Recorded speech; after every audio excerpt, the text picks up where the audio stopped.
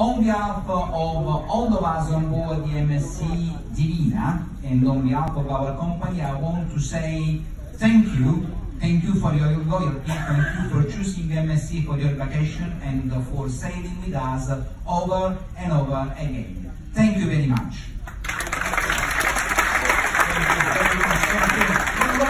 Ladies and gentlemen, we are going to have a special toast. We gotta do this. This is tradition. Everybody grab your glasses and raise your glasses.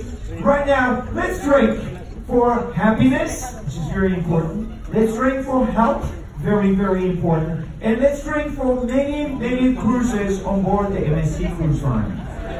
Cheers, everybody. Cheers, salute. Remember uh, captain, uh, Marco, came around and everybody's laughed? Of course. Salute.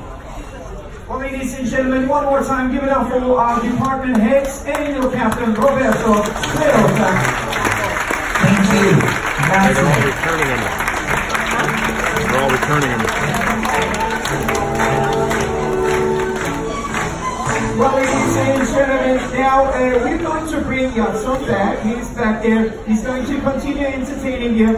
But uh, if you're going to